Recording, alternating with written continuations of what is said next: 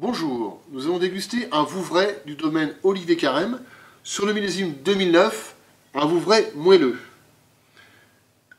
Les vins moelleux sont des vins avec une teneur en sucre résiduel relativement importante. Euh, on est souvent sur des valeurs autour de, 35, 40, 45 grammes de sucre. Donc voilà, donc la hiérarchie étant sec, demi-sec, moelleux. On a une très belle couleur, sur une couleur euh, dorée, or pâle.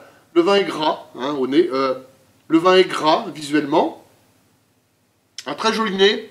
Un nez sur des arômes de fruits très très mûrs. Des notes un petit peu toastées. Des notes un petit peu pain grillé. Un nez qui est très agréable, axé essentiellement sur la douceur, même si on retrouve un petit peu la fraîcheur du chenin.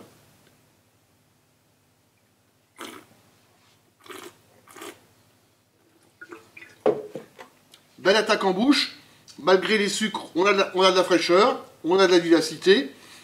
C'est ce qui domine en début de bouche. Et après, le vin développe toute sa gamme de fruits en mélangeant des fruits blancs, des agrumes, avec des petites notes euh, très légèrement toastées qu'on avait au niveau du nez. Euh, un vin intéressant parce que le sucre pas, ne domine pas complètement. Il y a toujours cette fraîcheur et cette acidité du chenin qui donne un vin assez, assez énergique malgré tout. Donc des vins euh, de dessert, mais aussi, pourquoi pas, des vins d'apéritif? Malgré les sucres, ce vin a tout de même un côté assez digeste.